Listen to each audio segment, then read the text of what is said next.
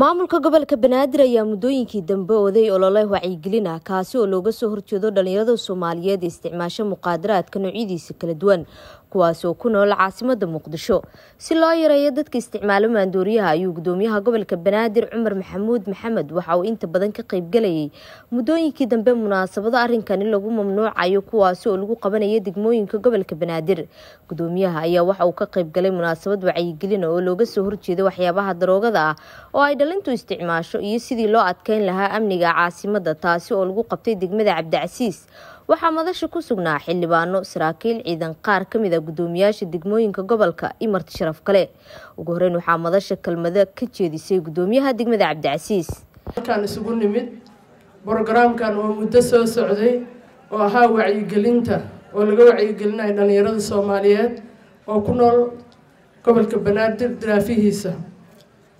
Waxaan maxay ahayd tol anoo ku hadlaya afka guddoomiyaha degmada cabdicasiis iyo guddoomiyaasha kale oo dhigaya halkaan fadhiyo iyaguna brogaraamkan soo qabtay oo waday wacyigelinta.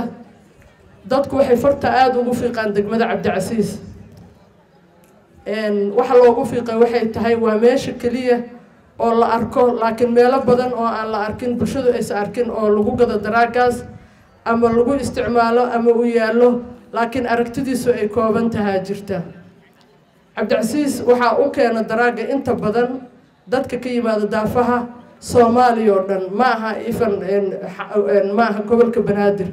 Sababtoo a dhalinyaro aan qabanay maalin dhaweyto waxay noo sheegeen gobollada soomaaliya ugu fogfog weliba inay ka yimaadeen iyagoo isticmaalaya daraagaas dadna ay soo lugooyeen loona keenay yacni halkan inay u helaan freedom waxaan ku faraxsanahay in la magacaabay taliyaha boono kastuumo miro oo aan ku kalsoonahay asagoon taliyaha aan ahayn ayuu wuxuu ka shaqaynayay oo dhowr habeen aan iskala shaqaynay brogaraamkan sidii dhalinyaradan loo caawin lahaa doctor cismaan maxamuud dufle ahna senatar aqalka sare ee baarlamaanka federaalk soomaaliya ayaa sheegay in dadka ka ganacsada maandooriyaha aada loo ugaarsado waddamada caalamka maadaama uu dhibaatooyin badan u geysanayo maskaxda dhalinyarada kuwaasi uu sheegay in ugu dambeyntii amniga dalka ay saameyn ku yeelan doonto.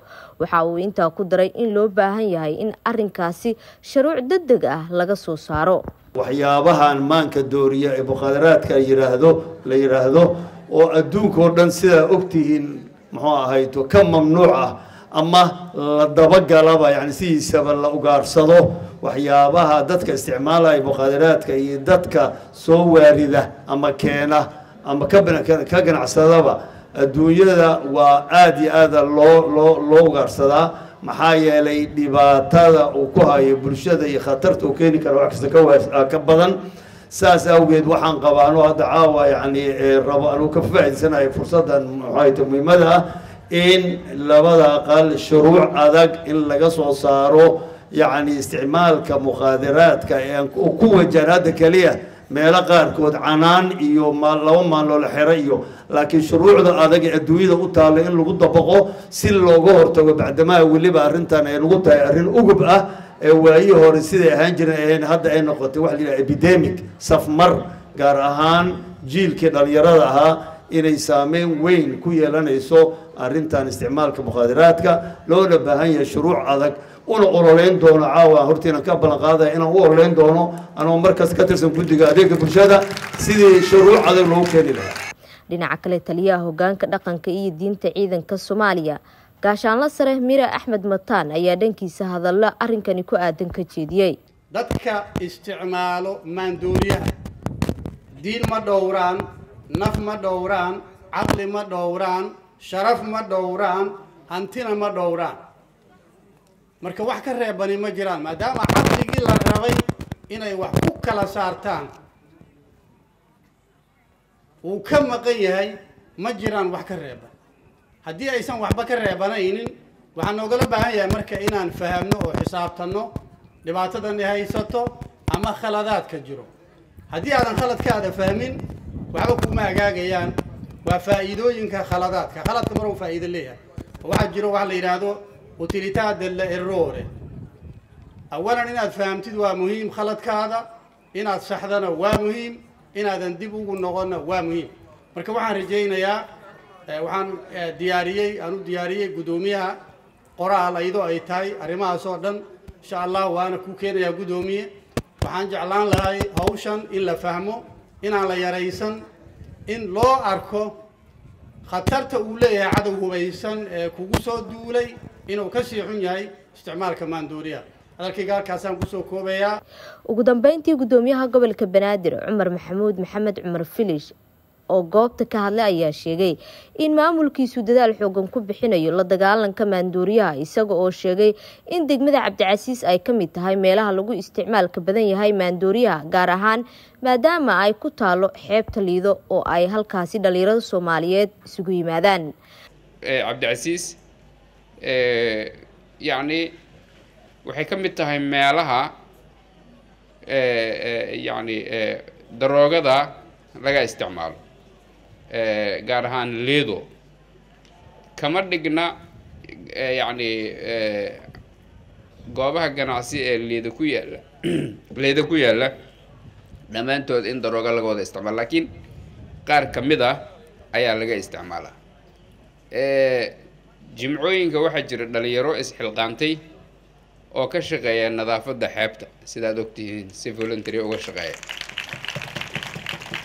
Jimcihii hadda doraad guddoomiyaha degmada waxaa ii soo dirtay in ka badan boqol dhalo oo nuuca khamriga laga cabay ah oo yacni la soo ururiyey qashin ahaan loo soo ururiyey sawirkooda iisoo dirtay. Oo yacni halkaas xeebta iyo meelaha yacni lagu isticmaalo daroogada ayaa lagu cabay haddaynan maanta marka gacanta ka qaban yacni ubadka da-yarta khaldan ee haagaanta ka dhacaysa waxaan dhexlaynaa mustaqbal madow baan dhexlayna marka dadaalka aan wadno macnihiisu waa sidaas laakiin marka dadaalka guud ahaan bulshadu ay isu xilqaanto ayaa laga miro dhalin karaa. Arrinkani ayaa imaanaya xilli muddooyinkii dambe uu maamulka gobolka banaadir waday ololo uu kula dagaalamayo dhalinyarada isticmaasho maandooriyaha noocyadiisa kala duwan waxaana moodaa xilligan inay sii yaraanayaan dhalinyarada sida tooska u isticmaasho muqaadaraadka. Shirkadda hormuud telecom waxay macaamiisheeda u samaysay qiimiyo dhimis ballaaran xirmooyinka internetka iyo kaarka ku hadalka ee adeega anfac balaas xirmada cusub ee labaatan iyo shanta senti waxaa laga dhigay afar boqol oo m b iyo toban daqiiqo oo ku hadalka gudaha ah halka xirmada bointy five kana laga dhigay siddeed boqol iyo konton m b iyo soddon daqiiqo oo ku hadalka gudaha ah xirmada halka doolar waxaa laga dhigay laba g b oo internet data ah boqol daqiiqo oo ku hadalka gudaha ah iyo konton fariin qoraaleed. Laba doolar waxaad ku heli kartaa shan g b oo data ah laba boqol oo daqiiqo oo ku hadalka gudaha ah iyo boqol fariin qoraaleed. Shan doolar waxaad ku heli kartaa laba iyo toban g b shan boqol oo daqiiqo oo ku hadalka gudaha ah iyo boqol iyo konton fariin qoraaleed. Toban doolar waxaad ku heli kartaa labaatan iyo sideed g b oo internet data ah kun daqiiqo oo ku hadalka gudaha ah laba daqiiqo oo dibadda ah iyo boqol oo fariin qoraaleed ah ugu shubo e v c balaaskaaga xidig toddoba labaatan iyo afar xidig nambarka xidig lacagta afar gees ama kaarka ku hadalka xidig boqol labaatan iyo lix afar gees kadibna raac tilmaamaha